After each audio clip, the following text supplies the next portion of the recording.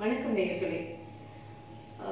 Sugar பேஷண்ட்டுகளுக்கு வந்து heart ப்ராப்ளம்ங்கிறது வந்து ரொம்ப சாதாரண விஷயமா போயிடுச்சு இப்போல்லாம். ஹார்ட்ல வந்து நிறைய பிளாக்ஸ் ஏற்பட்டுட்டு இருக்கு.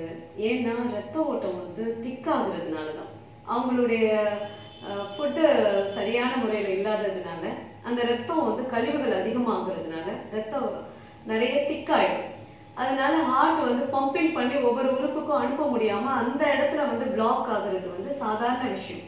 ஸோ ஹார்ட் பேஷண்ட் சுகர் பேஷண்ட்னா ஆட்டோமேட்டிக்காக ஹார்ட் பேஷண்ட் ஆயிடுவாங்க.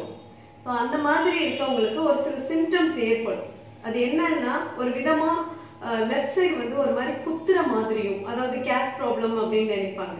ஆனால் அது ஹார்ட்ல வந்து பிளாக் இருக்கிற பிரச்சனையா கூட இருக்கும். ஸோ குத்துற மாதிரி இருக்கிறதும் சுண்டு விரல் வந்து வலிக்கிற மாதிரி இருக்கிறதும் இப்படி நல்லா இப்படி மடச் மடக்கி பார்த்தா இப்படி இப்படி பண்ணி பார்த்தா ரொம்ப வலிக்கிறதும் அவங்களுக்கு வந்து ஒரு சாதாரண விஷயமா இருக்கும்.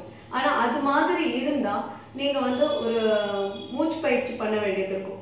அப்படி பண்ணீங்க அப்படின்னாக்கா அந்த ஹார்ட் ப்ராப்ளம் வந்து நம்ம மேக்சிமம் அதுலேருந்து தப்பிக்கலாம்.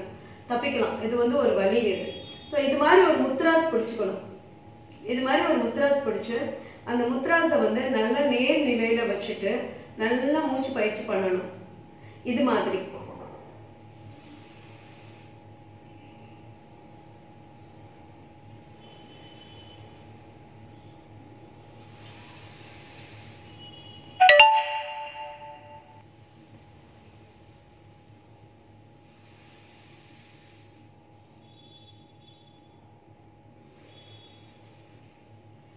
இது மாதிரி நீங்கள் மூச்சு பயிற்சி பண்ணும்போது உங்களுடைய மூச்சு காத்து வெளியில வரும்போது சில்லு மூக்கில் ஒரு விதமான எரிச்சலோட வெளியில வந்தது அப்படின்னா உங்களுடைய ரத்தத்துல வந்து புதிய ஹார்மோன்ஸ்கள் வந்து உருவாக ஆரம்பிக்குது அப்படிங்கிறது அர்த்தம். ஸோ அந்த அளவுக்கு நீங்க கொண்டு வந்துட்டீங்க ஒரு நாளைக்கு வந்து ஒரு இருபது நிமிஷம் பண்ணீங்க அப்படின்னாக்கா ரொம்ப நல்லது. இதை வந்து காலையில ஒரு பதினோரு மணில இருந்து ஒரு மணிக்கு ஒரு மணிக்குள்ள ஒரு இருபது நிமிஷம் அப்படின்னு பண்ணீங்கன்னா ரொம்ப ஹார்ட்டோட ஃபங்க்ஷனிங் வந்து நீங்கள் நல்லா ஃபீல் பண்ணலாம்.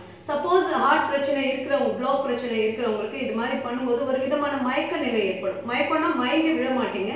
ஒரு மாதிரி ட்ரௌசினஸ் இருக்கும். அப்போ ஒரு கிளாஸ் தண்ணியை சிப் பண்ணிட்டு அதுக்கப்புறம் வச்சுட்டு கொஞ்சம் ரிலாக்ஸ் பண்ணிட்டு மறுபடியும் பண்ணுங்க. இது ஒரு நாளைக்கு தொடர்ந்து ஒரு நாற்பத்தஞ்சு நிமிஷம் அப்படிங்கிற அளவுக்கு பண்ணீங்க அப்படின்னா ஒரு பத்து நாளில் உங்களுடைய ஹார்ட்ல இருக்கிற பிளாக்ஸ் எல்லாம் ரிலீஃப் ஆயிடும்.